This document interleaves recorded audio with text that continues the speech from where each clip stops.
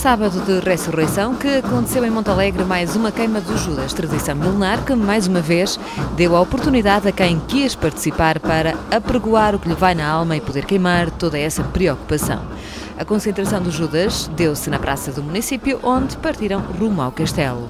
Foram oito os participantes e desta feita com uma acusação para a sentença. Muitas foram as pessoas que quiseram estar presentes em mais um momento de alegria, cor, humor, tradição e convívio em Montalegre. Orlando Alves, presidente da Câmara, diz-se satisfeito por poder contar com mais um evento que atrai turistas a Montalegre. Conseguiu-se aqui um momento de humor muito interessante eh, porque também é possível tratar de coisas sérias ou abordar coisas sérias à volta de um humor, à volta da criatividade, que foi aquilo que a Filandorra hoje aqui teve a oportunidade de oferecer às muitas centenas de pessoas que estavam aí e que eram, na sua maioria, turistas que decidiram vir passar o, esta época festiva ao Conselho de Montalegre. Turistas oriundos de Espanha ou de algumas zonas do país ficaram maravilhados com esta envolvência de tradição aliada ao espetáculo no castelo. A queima de, de Judas é es eh, un, un, evento muy interesante. Para nós venimos de, de Alacante a la, a la otra punta de, de la península ibérica, del de Mediterráneo y es muy interesante y lembra moito a, las nuestras eh, fallas también, que queiman en, en, la entrada de la primavera, queiman eh, todos los males que, que pueden que podemos tener y que, que, puedan venir en un futuro. Es muy interesante, además ver Judas el, el, los pecados de, de las personas, eh, los problemas que, que tenemos en, en, en las realidades, está muito, muito bem queimarlos. Venho sempre às festas do quando há o, programa, o programa festas de tudo, sempre. Agora, eu, como vim cá passar o fim de semana com meus amigos por causa da pesca, eu, convidaram para vir aqui, eu estou disponível sempre para estar estas festas todas de Montalagrense. Estamos de vacaciones a ver o Xerés e dimos con unha festa aquí moi, moi divertida, moi divertida. Estou máis aburrida en España, no, non queiman os xudas, no, no, no, aquí é moito máis divertido. E non é tan religioso aquí, non? Aquí fan moita satírica, fan mo humor da, sem, da Semana Santa, no? que chamamos ali. Aquí é todo moi divertido, ali é máis triste, máis religioso, eso moi, moi, moita diversión, gustou moito. José Carlos Moura, presidente da Associação de Paredes do Rio, lembra que esta é a 13 terceira vez que participam, prometendo criatividade e crítica social. Mais uma queima dos Judas, a 13 terceira edição que a Associação de Paredes participa na, neste evento e com bastante criatividade e também com crítica social. Estamos um pouco virados para, para a vertente social, neste caso para o, para o Ministro da Segurança Social, eh, que a nossa instituição tem passado por bastantes dificuldades eh, e de certa forma não tem cumprido o prometido. Este ano com uma novidade, a participação do grupo de teatro Filandorra, que fez uma pequena interpretação de alguns momentos da vida de Jesus Cristo. Um momento de humor que ajudou a aquecer o ambiente frio que se fazia sentir. Todos os participantes subiram ao palco para darem a conhecer a acusação que levou à sentença final. O primeiro Judas foi o do Ecomuseu e foi acusado de incendiário. A Associação de Gralhas quis queimar alguns dos nossos políticos nacionais. O agrupamento de escuteiros 1115 queimaram o pobre, como manda a tradição. O Zé Povinho, a imigração, as dificuldades das IPSS foram mais algumas das acusações impostas aos Judas e por isso tiveram de arder. Vais cumprir a tua sentença nesta terra amaldiçoada marcada pela tua presença. Eu não desejava tanta tristeza, mas o povo já perdeu a cabeça. Este teu consumo consciente da substância levar-te-á até às trevas, onde novamente poderás saboreá-lo. Para terminar, vou ser breve, a tua angústia e para que o café não te atrapalhe a vida, assim desta forma vais ser queimado vivo. Obrigado, boa noite. Boas noites a todos os presentes. Vamos nós agora começar. Somos a melhor aldeia do nosso Conselho, connosco ninguém se vai comparar. Estamos ao pé da Serra do Lourouco, o picoto é mesmo por cima de nós. E a olharmos para o vosso Judas, até já estamos com pena de vós. A reda que eu sou de gralhas, dizemos com orgulho e alegria. E a vós, o nosso Judas, já vos está a causar azia. Estamos aqui para queimar estes Judas traidores. E se Deus levasse os nossos políticos, também te agradecíamos, Senhor. Em passos seguros, caminhamos para o final. Para o nosso futuro, não vimos portas a abrir. Da maneira que isto está, também de Portugal vamos ter que partir. Somos filhos deste lindo Barroso, terra com gente valente e forte. Mas, a continuar assim, está condenado à morte. A estes traidores chiscai-lhe fogo. A estes traidores chiscai-lhe fogo. Pois não merecem o nosso perdão. E aos membros dos júris aqui presentes, deixamos a nossa saudação.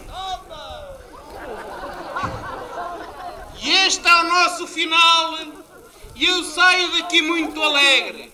E vamos todos gritar bem alto: Viva o Conselho de Montalegre! A sentença do Zé Povinho. Zé Povinho, caricatura de Bordalo Pinheiro, surgiu pela primeira vez em 1875 nas Chaves, calendário português, satirizando os ministros a sacar dinheiro ao Zé Povinho. Uma esmola três tostões para Santo António de Lisboa.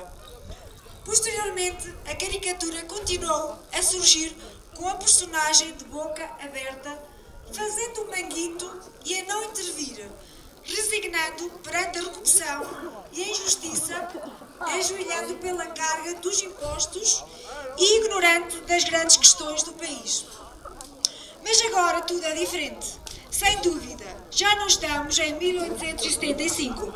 Estamos numa era moderna onde existe uma democracia consciente, permanente e respeitada. Neste momento, o Zé Bobinho é paciente, crédulo, submisso, humilde, manso, apático, indiferente, abúlico, cético, descrente e solidário.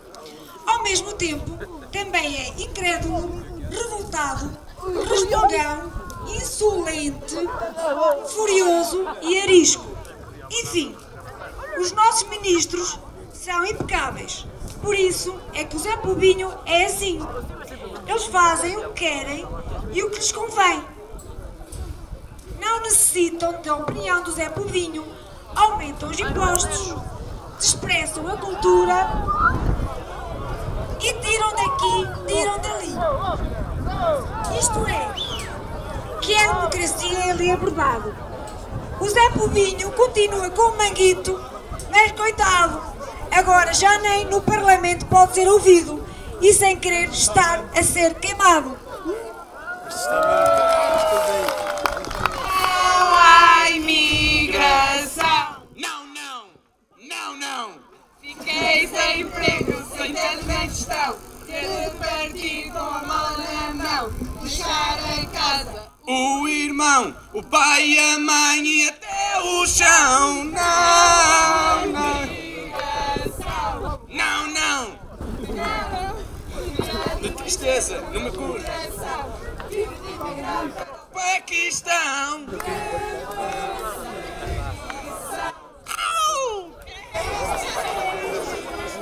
Homem é condenado por, sem subsídios, sem apoios, sem descontos, com impostos, e retenções, deixa este país imenso aos trambolhões. Ao homem da crise e demais associações, sugiro que arregassem as mangas e com meia dúzia de tostões queimem as judas e se deixem tangas. E até que a crise nos separe, deixa Montalegre esperar. Está na hora de o queimar, vamos ver se isto vai melhorar. Está na hora da despedida, mas não vai sem vos aconselhar. Não percam tempo Zé e Marias e ponham-se aqui a andar. O nosso Judas vem demonstrar as dificuldades que as IPSS, eh, as instituições de solidariedade social, têm passado nestes últimos tempos. Cá estamos mais um ano ao Judas falso e traidor, que com o corte nas pensões instalou o terror. Mas vai pagar o mal que fez aqui em Montalegre e não tardará muito tempo até que o fogo lhe pegue. Como lá para o outro mundo nada se pode levar, lembrou-se que a associação de uma carrinha está a precisar. Porém, eu peço a todos, quantos me estão a escutar, pelo Judas não ter dinheiro, vocês nos já ajudem a comprar. Muito boa noite e muito obrigado. O Judas 1115 é um grande escoteiro. É de longe o mais bonito e merece ser o primeiro. Boa! Temos que queimar o pobre como manda a tradição. Colintra, triste, esganado é a sua condição. O seu Presidente da Câmara pedimos encarecidamente que nos conceda o quanto antes residência permanente. Onde estamos atualmente é o sítio ideal para ter a nossa sede como morada final. E se isso não bastar, ao vice, ao vice metemos a cunha. Com a ajuda do Dr. David Teixeira, a coisa já se compunha. Depois de alguma escolha difícil para encontrar os três primeiros, Nuno Rodrigues deu voz ao veredito. Em terceiro lugar foi o Judas dos uh, Escuteiros de Montalegre.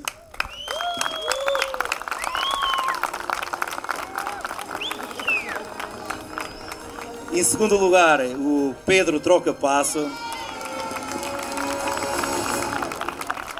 E em primeiro lugar, o Chisca de Fogo. Parabéns para Gralhas, levou o primeiro prémio. Foi muito bom a primeira participação da nossa associação neste evento. Uh, trouxe aqui a escada porque connosco o nosso objetivo é sempre subir, não é? E foi muito bom, espetáculos 5 estrelas. Uh, o nosso mentor ali, o Tiago Lage, uh, esteve muito bem em palco. Era uma sátira política dirigida para os nossos políticos e como estava lá escrito no cartaz, era para chiscar-lhe fogo, não é? Acho que foi um prémio merecido pela criatividade e, e, pronto, e parabéns a toda a gente da nossa associação que participou e que ajudou a ganhar este prémio. Paralelamente à queima dos Jutas, aproveita-se esta dia para desfrutar de outras coisas boas que reinam por aqui em Barroso. Fica também a dica para a queima de 2015. Sí, é a primeira vez, viñamos a ver o, o Xerez, é algo moi moi divertido, pero vou volver ao ano que ven, estou seguro, moito frío, moito frío, pero moi moi divertido, eso seguro. Oh, mira, a comida moito boa, moito boa, o viño moito bo, pero a vitela buenísima, buenísima. Se come moi ben, a paisaxe é moi bonita, Eh, volveremos pronto, tan pronto, como poidamos. Viñamos, viñamos a camiñar, a, co a coñecer o, o rural, pero a verdade é que comer é moita festa aquí, co, co, a sorte que tivemos con encontrar esta festa de aquí esta noite. Unha sugerencia, unha sugerencia.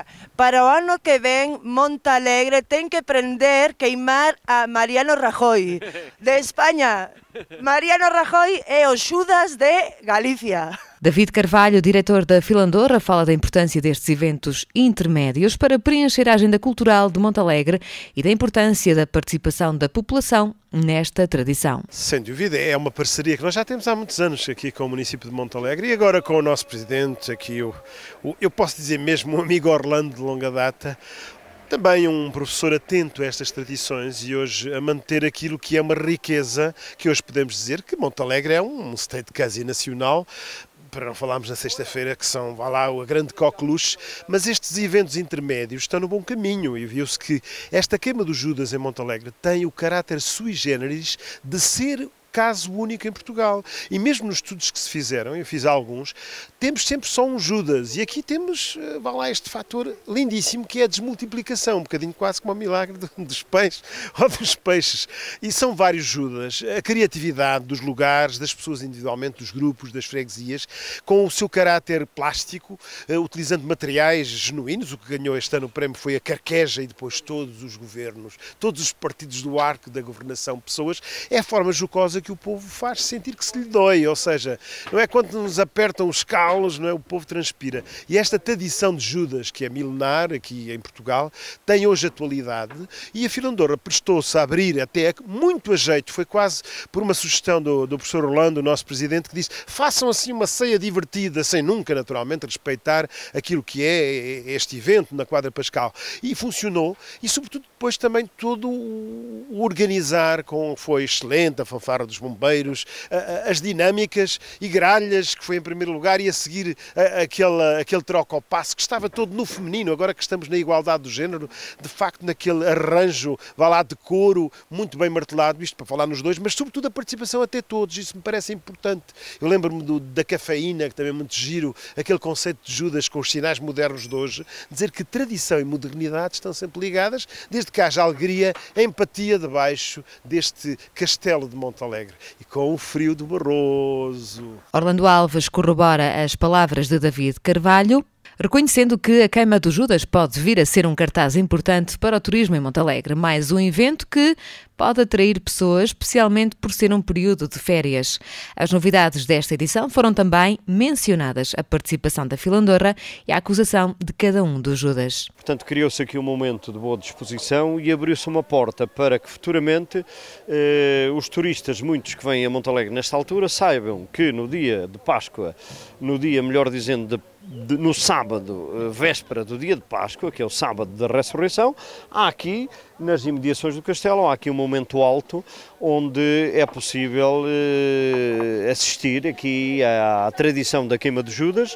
E este ano com a novidade de termos aqui um texto, uma performance da Filandorra adaptada, portanto, aos tempos eh, modernos, com um tom eh, de humor e de criatividade muito interessante.